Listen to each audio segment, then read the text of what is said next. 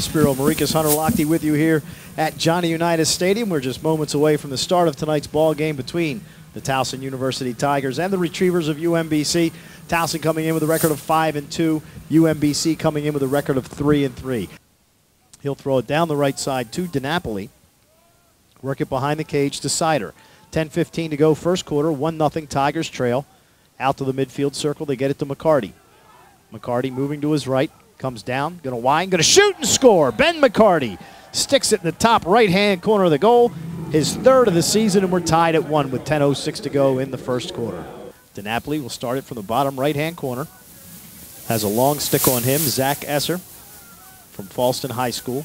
DiNapoli comes behind the crease, turns, shoots, and scores as he comes up the left side. Thomas DiNapoli with his 12th goal of the year, and the Tigers take their first lead at 2 to 1. Throws it up top, get it to Mabus.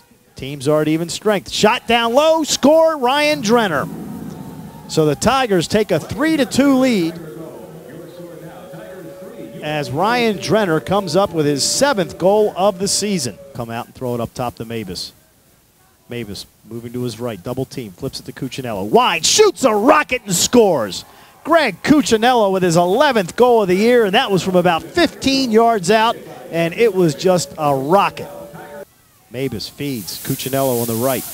Greg behind the crease, throws it out front. Siskin bounces one home. A bounce shot. It bounced about three feet in front of the goal and got in just underneath the crossbar, and the Tigers have tied it up at six to the right of the crease. He throws it over on the left side to DiNapoli. Thomas comes in. Thomas fires and scores. Came up the right side of the crease and stuck it in the bottom left, and the Tigers have taken a 7 to 6 lead. DiNapoli's second goal of the night.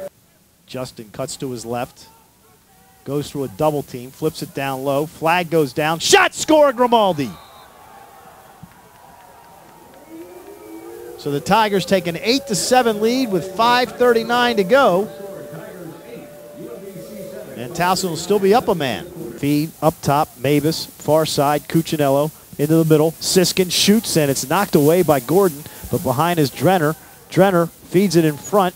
Siskin comes in, Siskin scores, and it's 9 to 7 Tigers with 5, 4.31 to go, his second of the night. And that's it, the ball game is over.